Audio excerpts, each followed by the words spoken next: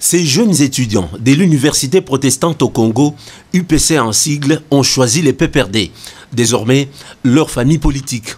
Devant ciel et terre, les nouveaux adhérents, en toute liberté, ont signé les fiches d'adhésion au parti. Signe d'engagement afin de soutenir l'initiateur du PPRD, Joseph Kabila Kabangé, dans ses efforts de reconstruction du pays. Pour moi, lorsque je vous vois, je me sens encore renforcé, fortifié.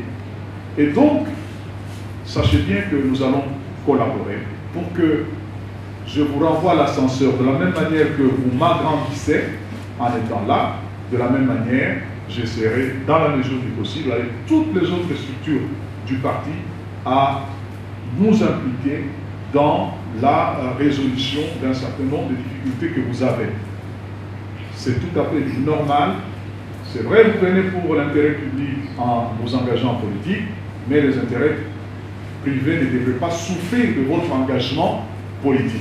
Content d'appartenir à la grande famille PPRD, les jeunes nouveaux membres ont exprimé au secrétaire général Henri Movasakani leur détermination, celle d'être disponible au service du parti. Sur place, l'administration les a conviés à la séance des prises de photos afin d'imprimer les cartes des membres aux nouveaux venus, ici remises par le secrétaire général Henri Movasakani, qui a félicité les étudiants pour le choix opéré.